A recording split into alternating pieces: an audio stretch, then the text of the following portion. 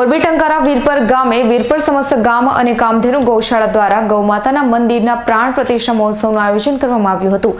પ્રાણ પ્રતિષ્ઠા મહોત્સવ નિમિત્તે શોભાયાત્રા પ્રદ્યુમનસિંહ જાડેજાના ઘરેથી ગૌશાળા સુધી યોજવામાં આવી હતી. ગૌમાતા મંદિર લોકેશન મોરબી ટંકારા વીરપર ગામે ગૌમાતાના મંદિરના પ્રાણ પ્રતિષ્ઠા મહોત્સવનું આયોજન કરવામાં આવ્યું હતું.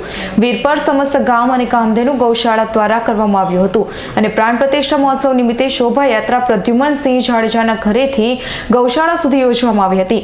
ગૌ માતાની મૂર્તિ રાજસ્થાનથી બનાવવામાં આવી હતી. તો ગૌશાળાના ગૌભક્તો દ્વારા વીરપર ગામમાં ગાયો માટે લીલો ઘાસચારો નાખવામાં આવ્યો હતો અને ગામના બાળકોને બટુક ભોજન કરાવવામાં આવ્યું હતું. ગૌ પ્રદ્યુમનસિંહ જાડેજાએ જણાવ્યું હતું કે ગૌ માતામાં તેત્રીસ કોટી દેવતાનો વાસ હોય છે. એટલે ગૌ માતાનું મંદિર બનાવવામાં આવ્યું ગૌ માતાનું મંદિર શહેર અને ગામડાઓમાં હોવું જોઈએ અને તેમાં દરરોજ દીવાબત્તી થવી જોઈએ. જેથી ગૌ માતાનો વારસો આપણે જાળવી શકીએ.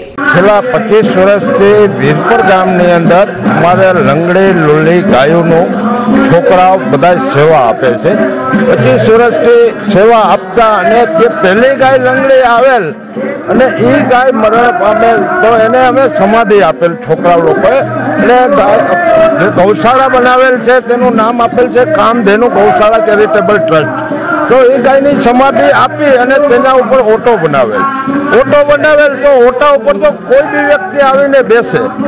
એટલે મને અને ગૌશાળાવાળાને એવી પ્રેરણા થઈ કે ઓટા ઉપર આપણે સમાધિ આપી છે ગાની, તો ગા માતાજીની મૂર્તિ પ્રતિષ્ઠા કરી.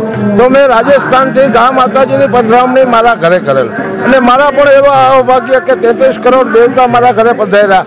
અને ગાની વાદ્ય ગાટ્ય સમયે આજે વીરપર ગામે મારા ઘરેથી અને ગૌશાળાએ પ્રતિષ્ઠા માટે સમયા કરી અને ત્યાં પધરામણી કરેલ. રવિ મોટવાણીનો રિપોર્ટ મોરબી.